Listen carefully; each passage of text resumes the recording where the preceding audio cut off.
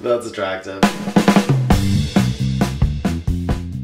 Hey there, cheap bitches, I'm Rob, and this is On the Cheap Tip. Most of you guys have discovered my channel because of my weight loss videos. And if you haven't seen them yet, then you're really hiding under a rock because there's a multitude of them. And you can click one of them. I'll wait. Now the biggest part of losing weight is your diet, meaning that you have to eat right. And sometimes you have to eat less. But what happens when you can't fight the urge to eat? Well, today I'm gonna show you some natural appetite suppressants that will help you curb those hunger pains and help you get rid of that extra weight. Is it pangs or pains? I think it's pangs, right? Pa pains, pangs, pangs, whatever. So let's get started. Number one, dark chocolate. Now you're probably like, what? Chocolate? That's too delicious to be good for you. Well, you're right, bitch. That's why it's number one, because it's fing delicious. Now, dark chocolate is not only delicious, but the bitter taste is able to send signals to your brain to decrease your appetite naturally. Can you believe it? Eating a small amount of dark chocolate before or after a meal can mean the difference between being fully satisfied or clearing out your refrigerator. You make the choice. Choices. Number two, peanut butter. Now you might be saying that peanut butter is loaded with lots of fats, which is true, but they are monounsaturated fats, which helps to burn other fats. So it helps you kind of lose weight. Just saying. Peanut butter is also a nice thick consistency. I cannot say that with a straight face, which helps you stay fuller longer. Eating a small spoon of peanut butter should help you curb that appetite.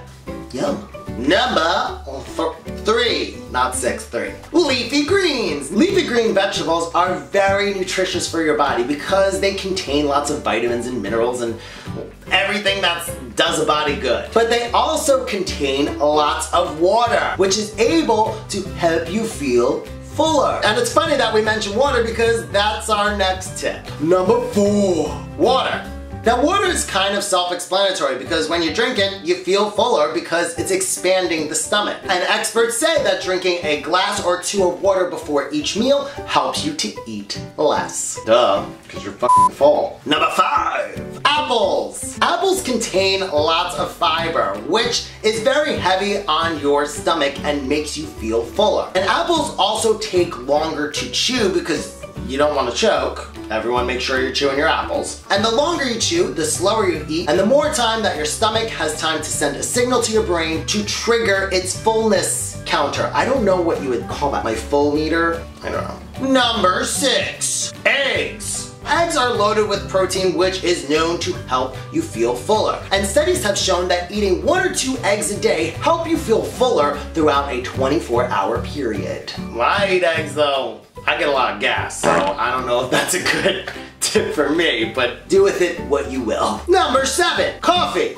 or as New Jerseyans say it, coffee. Coffee is known to boost your metabolism to help you burn calories throughout the day. It also contains lots of antioxidants, but it's also known to suppress your appetite as well. Now don't get me wrong, you don't want to add too much cream and sugar because that's going to defeat all the benefits of the coffee. Go light. Light on the cream and the sugar, bitch. Now I know that a lot of you are complaining that you don't drink coffee, so how about number eight? Green tea. Green tea is not only a natural fat blocker, which is reason enough to drink it. But it also helps to stabilize your blood sugar. And when the blood sugar in your body is stabilized, it helps you to feel fuller. I bet you didn't know that, bitch. I didn't either until this morning. I just Googled it. Number nine, skim milk. Now milk is a little bit of a thicker consistency than water, so hello, that's going to help you feel even more full. Duh. And in some cases, it also bloats you, which helps you to feel fuller, but it's also going to bloat you, so I don't know how much you're gonna like that. But